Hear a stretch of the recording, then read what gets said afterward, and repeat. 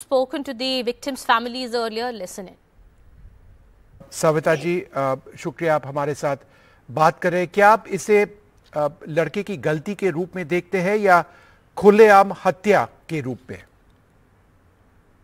लड़के की गलती है हत्या भी कह सकते हैं उसको क्योंकि अगर उसने इतनी बड़ी गलती की नहीं होती तो आज किसी की जान ना जाती अगर थोड़ा भी अगर उनके घर वाले या उन्होंने थोड़ी सी इसको अपने उसमें मना, किया होता कि ऐसा नहीं करते हैं तो आज मेरे बेटे की जान बची होती। ये सीधे सीधे हत्या कहलाती है ना। सविता जी क्या आप मानते हैं कि लड़के को बचाने का प्रयास किया गया था? अगर बचाने का प्रयास हाँ किया गया था। कैसे? कैसे?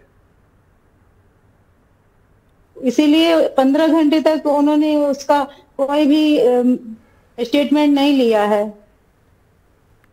आप पुलिस कार्रवाई से नाखुश है आप ये बता रहे जी हाँ। तो आप पुलिस के पुलिस कार्रवाई के बारे में क्या कहेंगे? जिसने एक्सीडेंट किया जो लड़का मेरे बेटे का एक्सीडेंट किया है उसने उसको गिरफ़्तार तो किया उन्होंने लेकिन पंद्रह घंटे में ही उसको छोड़ दिया और उस टाइम तक उसका कोई भी स्टेटमेंट नहीं लिया उन्होंने। अगर वो लिए होते उस टाइम पे तो शायद ये अल्कोहल उसमें समझ में आ जाता कि हाँ उसने शराब पी हुई थी। पंद्रह घंटे के बाद अगर आप जाँच कराएँगे तो उसमें नहीं निकलेगा। इसलिए पुलिस वालों ने पंद्रह घंटे के बाद ही उनकी जाँच की गई। और आप ये मानते हैं कि लड़के को अडल्ट माना जाना चाहिए इस केस में? हाँ जी हाँ बिल्कुल।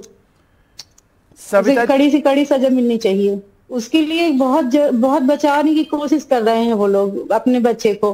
पैसे वाले हैं इसलिए सोचते हैं कि हम अपने बच्चे को कहीं से भी बचा के निकाल सकते हैं। लेकिन मेरा बच्चा तो गया है ना तो मैं तो उसको सोचती हूँ कड़ी से कड़ी सजा मिले उसको।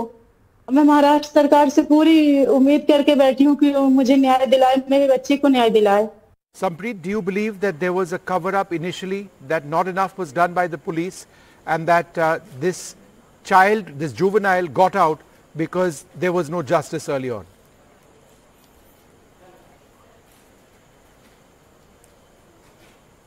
Yes, I think there was uh, a lot of uh, uh, pressure from the accused side to police uh, to uh, to you know uh, to get the case closed and and delay all the process. That's why there there there was no medical of the accused for like 15 hours and and uh, all the investigation was uh, delaying by the police. I think that uh, their influence was very strong. Sampreet, uh, you know, it's just horrible what has happened to you and your family. Uh, could you tell us a little bit about Ashwini? Um, could you tell us a little bit about Ashwini's aspirations, hopes? Ashwini worked as a techie. When is the last time you spoke to Ashwini or saw Ashwini?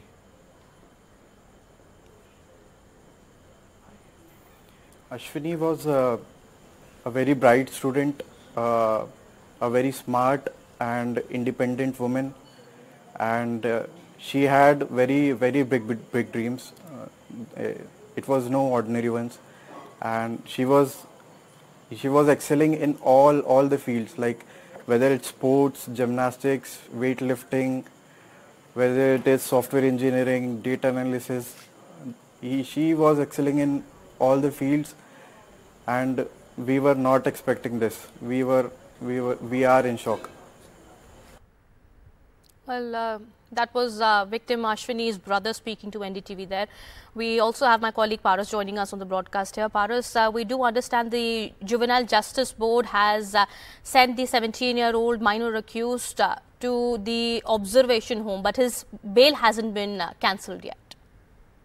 The main thing is that which has came into light is that the 17-year-old minor has been remanded in child remand home by the JJB till 5 June. In uh, this 15 days, he will be getting counseling and all the uh, medical stuff which can uh, put him to right track. So uh, right now, the major thing which has happened in this entire case is that the uh, minor 17 old uh, year my minor has been remanded in child remand home by JJB till 5 June. on the other hand, I'll just brief you that his father has been in police remand for two days now and uh, police has granted the uh, two days remand to police and uh, now uh, Pune police will investigate into this entire matter briefly but the major update is that one more thing I'll just want to clear that the bail has not been cancelled in this uh, entire incident and in this entire matter